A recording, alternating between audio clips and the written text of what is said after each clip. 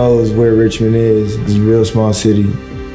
And I knew in my mind that I wanted to be one of the first ones to actually go all the way and set the example.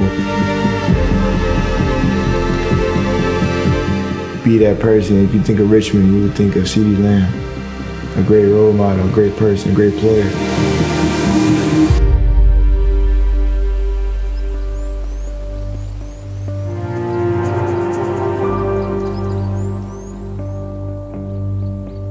The first day Man City met was at a West Lakes court in Richmond, Texas. We was just hooping, shooting around. Then we played one on one, and it got a little, it got a little competitive. So that's why we became best friends because we so competitive. We used to live together, so we wake up together, brush our teeth together, do everything together. So we never was really that apart. Eighth grade football, he was playing running back, and he made this one play against Reading Middle School. It was a run. Off the top, I was like, yeah, this dude's special. When I first saw CeeDee play, I knew that we had something special here. He played Little League football around the corner. And, you know, people talk about the things that he can do and how special he was. Just as a freshman, you could tell that he was on a different level than his peers. In high school, it was crazy just because like I thought football of that you just wake up and play just for fun. And uh, I started taking fo- like I took football serious my sophomore year. I just stopped playing everything else. Quarterback and safety was my first two positions, and then it was running back and safety, and then I saw linebacker and safety, and I it just started going all over. I don't feel like there's anything I can't do on the football field.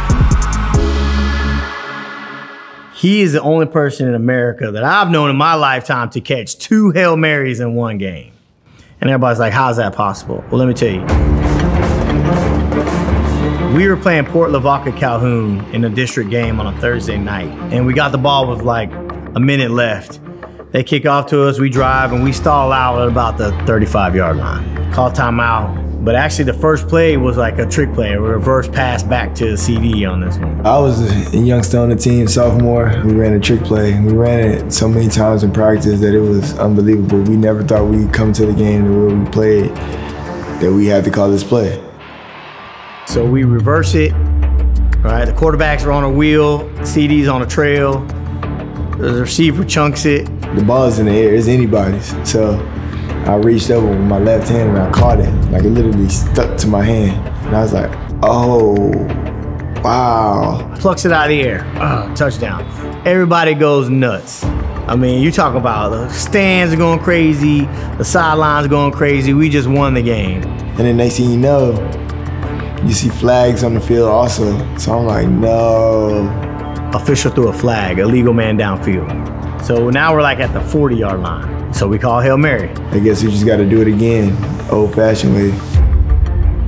We snap the ball. I remember running. I took I took the perfect angle. I saw the ball in the air. And it's like slow mo. I locked in on where it was. And I looked down to see where everybody wasn't. And I just jumped first. So I wanted to be the first off the ground. If anybody jumped under me, I took your jump. It seems like everybody was frozen in time. Everybody's up looking at him. He jumps out of nowhere. So I jumped, caught it. Now look, I'm in the end zone. I'm like, oh, and then a guy tried to hit me again. Instantly, hold on to the ball. That's it. Then it's the second celebration of a Hail Mary and it's on. I mean, we go nuts. Oh man, I can't even express the feeling. It was crazy. Demond, he ran all on the field. You're not even supposed to do that. Man, I just ran on the field, hugged him and tackled him, man. We was at the bottom of the pile turning up.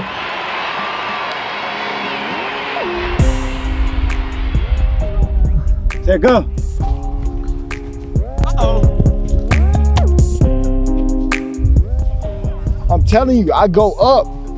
I I got hops. That boy, CeeDee, you can tell he a natural born clown. Okay, this fly is gonna kill me. That boy pretty funny. He can crack some jokes. Once you get to know him, he has a great sense of humor. He's super silly, and everybody loves him.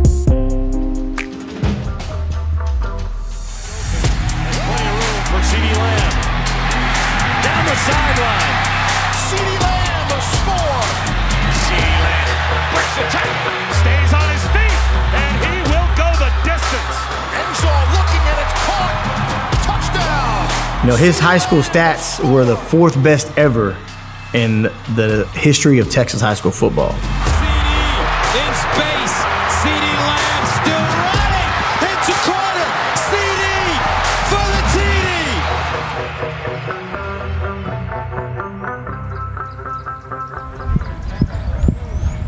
Six minutes.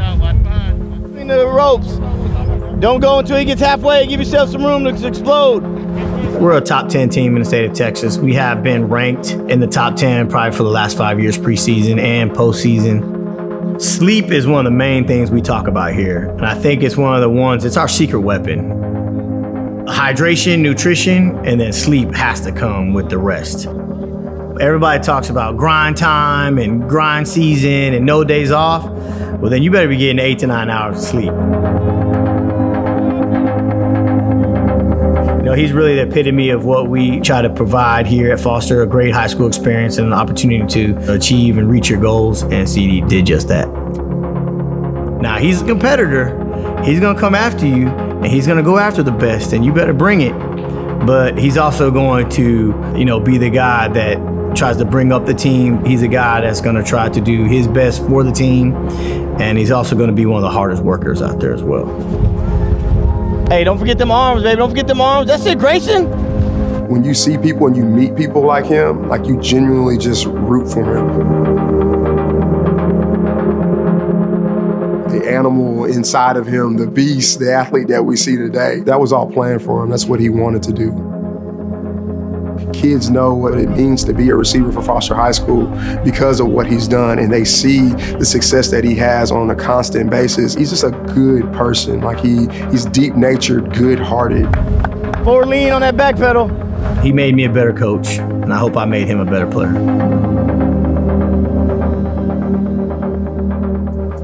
When I first started getting recruited, I didn't really understand how the recruiting stuff went at all because no one really explained it to me. Being a kid from Louisiana, not knowing any of that, literally talking to college coaches because not many people in my family actually had the opportunity. I wanted all the phone calls, I wanted all the text messages. Oh, I never seen so many people show up at my door. I chose OU because Coach Riley played a big part in it. A young coach. Uh, he had Baker Mayfield. I saw what he was doing with the offense. Coach Stoops, he's literally legendary in Norman. And then when I got there, I knew that that was the place that I wanted to be. I wanted to learn everything about a new city that I never thought I would be in, Norman. I didn't realize how important sleep was until I got to college.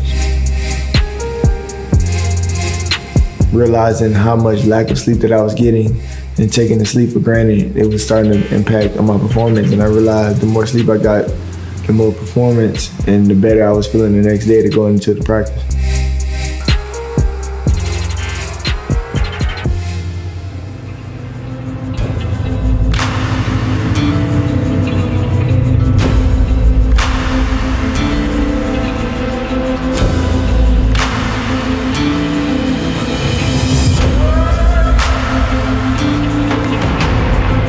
Progression was definitely tough. A lot of sleepless nights, just trying to get acclimated with the offense, adjust to the speed, physically be prepared for the, the game, the beatings. Playing in the Big 12 championship for three years in a row in Arlington, it was like a foreshadow. OU was definitely a great experience. It was a stepping stone for me in life. It proved the work ethic that I put in. I don't do this for the hype. I really play football for real. Here still going.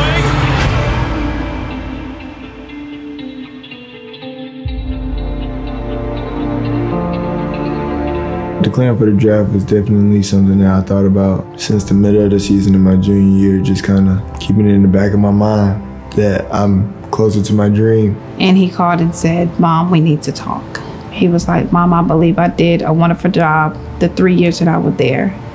So I feel it's time for me to move forward. You could hear it in her voice that she was proud of me, and um, for me to hear that through just through the phone, I was grateful. You know what I'm saying? I had the next day I went to train for the draft. Time, your CeeDee Lamb. Yeah, he's he's moving. You see how confident he is in his hands.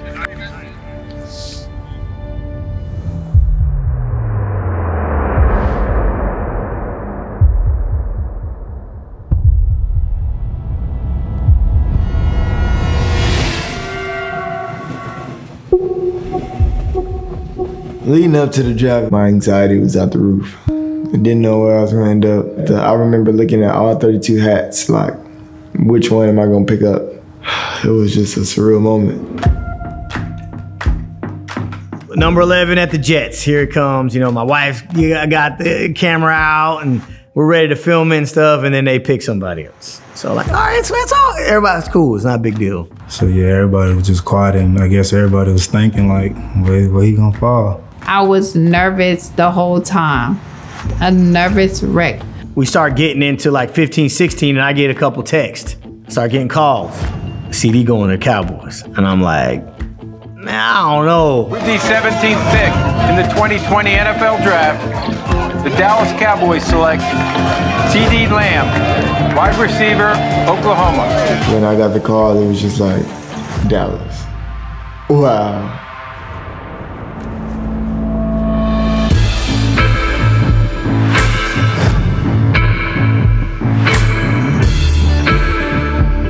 I ain't think I've ever said, how about them Cowboys in my life, but I said it like a thousand times that night. It was like life changing in five minutes. It couldn't happen to a better person, a better family. Um, I mean, he he's from Texas, played at Oklahoma, which is just North Texas, right? And he's had so much success in Cowboy Stadium. It just seems that it's just a natural fit.